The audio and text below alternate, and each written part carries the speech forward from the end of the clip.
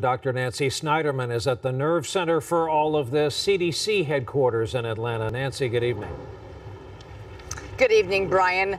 The man in New York City who presented with Ebola like symptoms remains tonight in strict isolation while laboratory tests are being performed.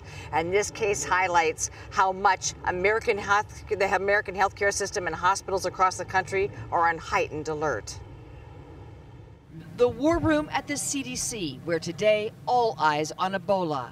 This is really unprecedented in terms of the emergence of this disease in West Africa. It was an incredibly difficult weekend. NBC News cameras allowed inside the emergency meeting of the International Response Team, chaired by Dr. Inger Damon.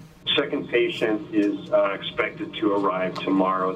The CDC chasing down 22 reports of possible Ebola cases in the United States, deemed four worth testing. The three results so far, false alarms. Two were malaria positive and one was influenza B positive. But the biggest concern remains West Africa. Ebola has been ravaging West Africa since March, and shock disease specialists when it hopped a border by plane.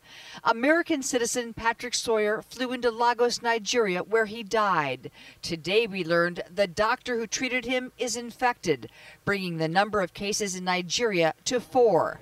Nigerian officials are now screening passengers at the airport in Lagos. Dr. Nagar Ali Abadi is one of the CDC disease detectives deploying to the region. It is a scary problem, but that, you know, we are doing our best to get it under control over there and just to keep informed. The excitement about the monoclonal antibody treatment at Emory is tempered, Brian, by the fact that Ebola is out of control, a wildfire, if you will, in West, in West Africa.